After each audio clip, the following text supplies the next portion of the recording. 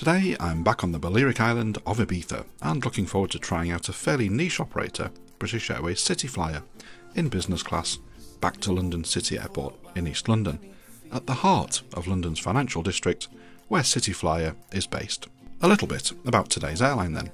British Airways City Flyer is a wholly owned subsidiary of British Airways and operates a single fleet of Embraer 190s, one of only a handful of aircraft certified to operate out of London City because of the steep approach required.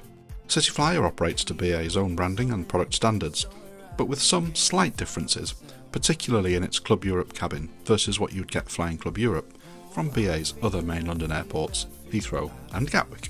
Originally, City Flyer catered to the needs of corporate flyers travelling between Europe's financial capitals, but in recent years it has branched out to a select number of leisure destinations, catering to the party needs of stressed out chinless wonders, as well as flying some regional routes on weekends, as London City Airport closes on Saturday afternoons until Sunday morning. Which brings me to your Britishism of the week Chinless Wonder. A chinless wonder is defined as an ineffectual upper class male typically dim witted and of a weak or indecisive character, but with a perfectly chiselled chin, and the word wonder being an irony. Frequently one who gained his position via nepotism or other social connections, the chinless wonder is often thought to be found in the British banking industry. So that's your Britishism of the week, the chinless wonder. So, back to today's flight. Having checked in on the app, it's straight through security and to a very quiet Ibiza Airport lounge. The lounge itself, that is included in either your business class ticket or with One World Emerald Sapphire status, is very impressive. With some great views of the runway, including the arrival of my favourite Boeing 757, it's time to head over to the gate to board.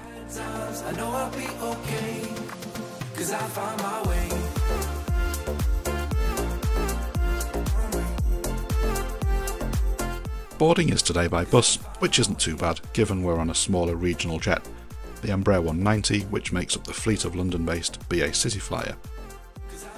Having snagged seat 2D, which is one of the best seats on this aircraft at the time of booking, thanks to my One World status, it's time to sit back and look forward to an excellent in-flight service. To my right is a later scheduled City Flyer London City Airport destined aircraft, and such is the popularity of this route.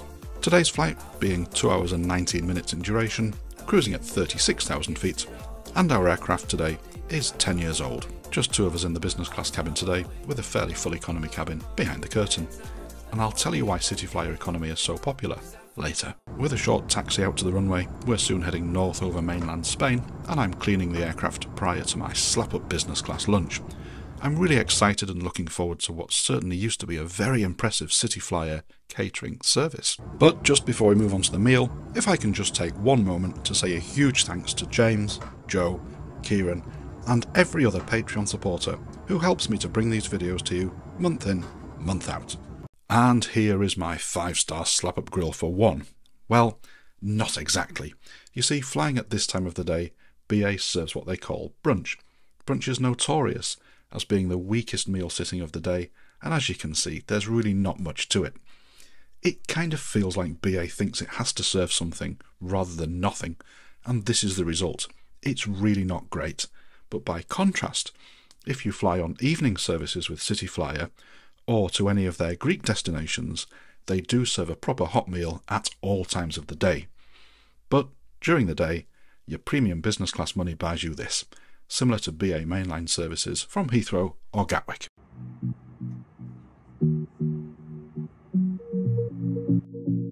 And with that lettuce working its way through my system faster than a virus on steroids, it's time for Toilet Cam. As a regional jet, it's assumed you won't spend too much time in here, so the cubicle is quite small but clean and functional. Standing up though isn't really an option for too long.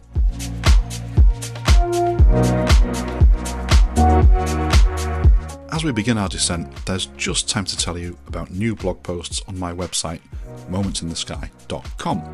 If you're looking for flight and hotel reviews, or things to do particularly in the Canary Islands, it's all here, along with a general chit chat of travel blogs. It's growing week by week, so don't forget to subscribe to get new blogs as and when they're launched. So as I retire my now deformed spine back to my voluminous seat pitch, I watch as we begin our descent over northern France, and then the fantastic views over London, including the Shard, Canary Wharf, and the Millennium Dome. I'll leave you in peace to enjoy the steep, unusual approach into London City Airport, but do stay tuned to get my thoughts, as summing up presented a real quandary to me on this particular service.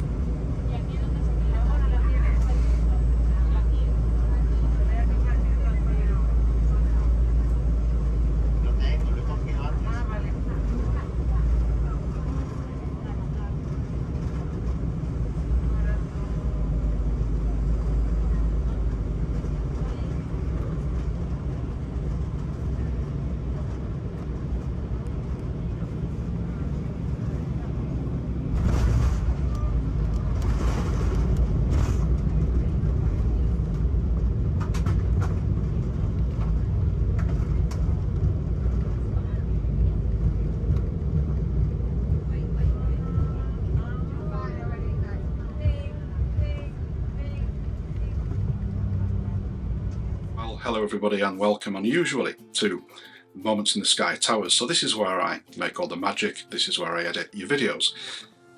And unusually, what I wanted to do this morning was talk to you a bit more about British Airways City Flyer because I'm really torn as to which product to recommend. And let me tell you why. So on the one hand, you've got on those Embraer regional aircraft a very nice aircraft to fly.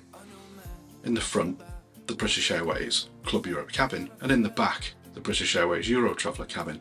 Fairly straightforward you might think, except it's not that simple. And the reason for this video this morning is quite simply because I couldn't decide what to put in words and the voiceovers just wouldn't have done it. Because I'm very torn as I say as to which product to recommend. The problem with City Flyer is it's Club Europe cabin. If you fly it between 9 and 5, and I'll come back to why those hours are important, is quite weak. So if you fly BA City Flyer from London City, you're not getting that blocked seat next to you. So on a full flight, you will have somebody sat next to you. The meal, as you saw, could you really call it a meal? Probably not. I'm not actually sure what it is. But again, not that different to what you'd get during the day with BA from Heathrow or Gatwick, otherwise known as Mainline. And if you're flying from London City Airport, they don't have any airline lounges. You can pay your £95 to use the Executive Jet Centre, but Actually, at the time of making this video, that still wasn't open. That said, if you're flying back into London City with City Flyer, you're going to get lounge access because most airports have airline lounges. Okay. Inadvertently, and unintentionally, I think, is because the City Flyer Euro Traveller cabin, the economy cabin just behind the curtain, is actually so good and I think one of the best European economy cabins there is. I think what City Flyer has done is it's actually made its Club Europe cabin, especially between 9 and 5, largely redundant. Now why is that 5 o'clock thing important and why is 9 o'clock important? For the simple reason is, and I think I said this at the start of the video, if you fly before 9 o'clock you're going to get a hot breakfast. If you fly after 5 o'clock you're going to get a hot dinner. In between you're going to get not much. Now you might come back at me and say, well, that's no different to British Airways from Gatwick or Heathrow and you'd be right. Except, here's the thing. Because you don't get the blocked seat, because there are no lounges at London City, I would argue and say, save your money. Fly on City Flyers economy cabin. Why is it so good? Well, well the difference is you still get complimentary alcohol, that's the first thing. You're not going to get a blocked seat, but you don't get that in Club Europe. You're not going to get lounge access from City, but you don't get that in Club Europe because there are no lounges. So really, unless you need the tier points or the luggage allowance, there's very little to say why you would fly Club Europe on that route. And you might come back at me and say, yes, but other airlines in Europe with their smaller aircraft don't block the seat next to you, and some, some of the airlines don't have lounge access. And that's fine to a point, except think about that complimentary snack, complimentary alcohol that you're going to get in the back behind the curtain in European economy, and actually pricing it up between Ibiza and London City on this flight today, it cost £43 one way in Euro Traveller, which is fabulous value for money. You can't argue with that if you needed to be in London, especially because flying into London City is so convenient, as I said. Well, I think that's got everything going for it, and I think that's a super value for money cabin. So you're going to get a snack, which is probably not that worse than the Club Europe meal, if that's what you call it. I don't want to call it a meal because it wasn't. You're still not going to get the blocked seat, but then why would you? It's economy. You're going to get that complimentary bar service. So they have a slight, there's a slight difference between the alcohol offerings in economy versus Club Europe on City Flyer. But essentially you're still going to be able to get a glass of wine, a vodka, whatever you, whiskey, whatever you drink. And it's really rare to get an alcoholic drink complimentary in economy on any airline in Europe these days, you normally have to pay some eye-watering price. Certainly at Heathrow and Gatwick with British Airways, if you're in economy, you're not going to get that complimentary drink. So that's another really good thing going in favour of City Flyer economy between 9 and 5. Yes, if you fly after 5 o'clock, you're going to get a nice meal, or if you're flying to any of the Greek destinations, so if you're flying to places like Santorini and these places, Thessaloniki, then you're going to get that full meal. So I think before 10.30 in the morning, you get full breakfast. If you fly after 10.30, all of those weaker meals like brunch and afternoon tea and stuff, they're just brushed aside. So if you're flying on those longer flights down to Greece, then you're going to get a full meal. So you don't need to worry about that. That said, even still, you know, you're still going to get the free snack. Well, you're still going to get the complimentary snack in economy. You're still going to get a complimentary drink. The seating's no different. And really, my advice would be if you check a bag in, and I never do, so it's not a problem for me, but if you do check a bag in, and if that's your only real argument for flying in Club Europe, then save your money. Just save your money because it's going to be at least £100 cheaper to fly in economy than to check a bag in is what? £40, £35, £40?